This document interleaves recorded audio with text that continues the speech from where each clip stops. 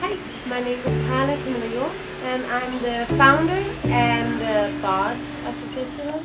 Volunteers is very much the heart of Trailer Park.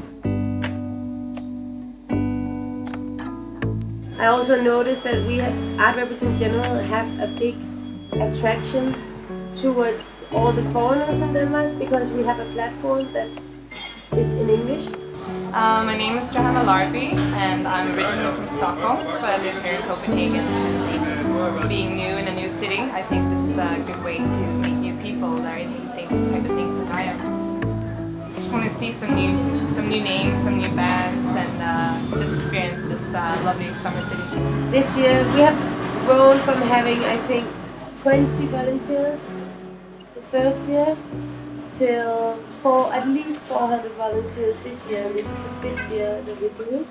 And without the volunteers, Trailer Park really couldn't happen. We have said this many times before and it's so true still today. And when you come and volunteer doing the festival, you get to meet a lot of people, you get to see the festival from behind the scenes. Uh, surfing on the homepage and then I just saw Trailer Park Festival and it's a cool concept so I checked it out. And then I saw I could be a volunteer save the money and I thought, let's do it.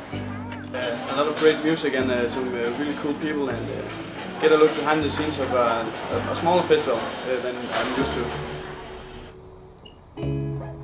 I'm Thomas and I'm from Denmark.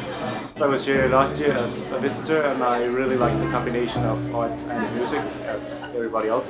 and then I am already volunteering at a few other festivals in Denmark and I just thought why not and to create some more contacts, of course. My name is Britt, and I am half Danish, half American. I am a, a bar ansvarlig, or a bar responsible person. I'm running the, the bar, the skater bar. Um, I hope to get some great experience, uh, and I hope that Trailer Park will and Art Rebels will ask me back for whatever events they do in the future. Quite a few uh, employees today that started out being part of Trailer Park, and then that's how I I notice them and find them and get them closer into Art Rebels. And today they have become you know, part of the tribe, family.